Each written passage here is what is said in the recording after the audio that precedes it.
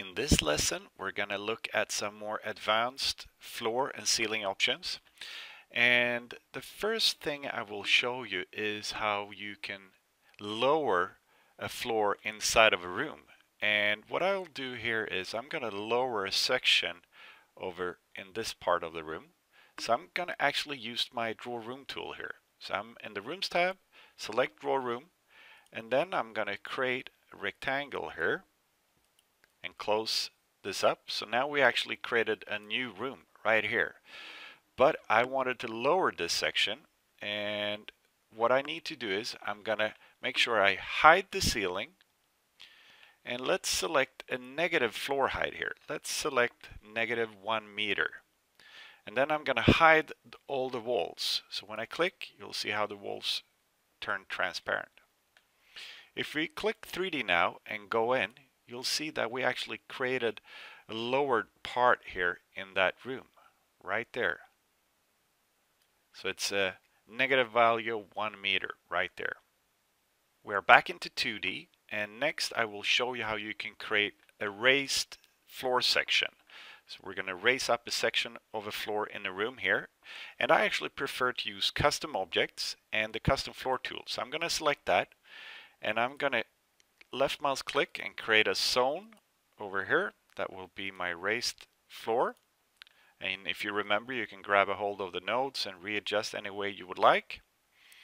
And then I'm going to click on the zone and the object, object property menu will appear. And I'm going to create a one meter high stage floor. So I'm going to select altitude one meter, thickness one meter. Then I can go in and decide on the colors or materials that I want this raised floor to have. And I would like the floor material to be, let's pick a tile so we can clearly see that. Let's do a white tile. Then on the sides of the raised floor, we'll select the side material. Let's do a gray color. The bottom we don't need to worry about, the bottom material. We go into 3D here we see the raised floor in 3D. We have the gray sides and the tiling.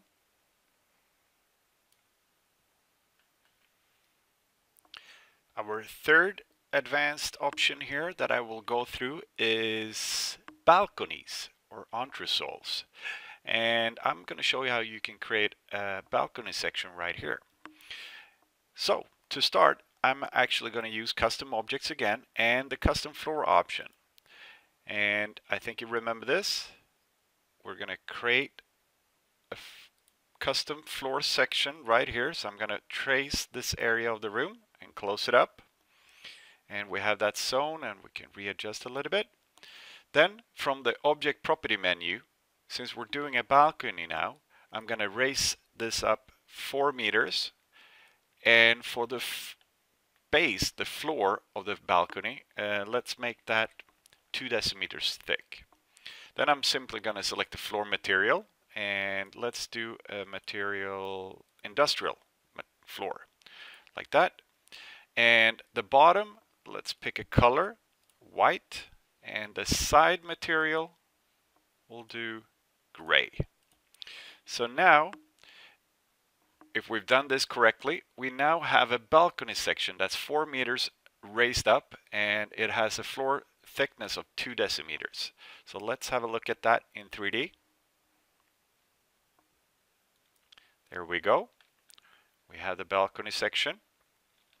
Now, if I start adding equipment here, and we're just going to drag out some sample objects. Let's just go down to standard libraries. I'm going to drag out a plant here into my floor plan, and you'll see that it, uh, as a default, ends up on this floor. But it's very easy to use the altitude tool and drag it up and it will actually snap to my new balcony section right there and I can easily move it around afterwards. I'll do that one more time. Hold down the left mouse button, drag out, it comes onto the default main floor. Then I can use the uh, altitude tool and raise this up and it will snap to my custom floor shape right there.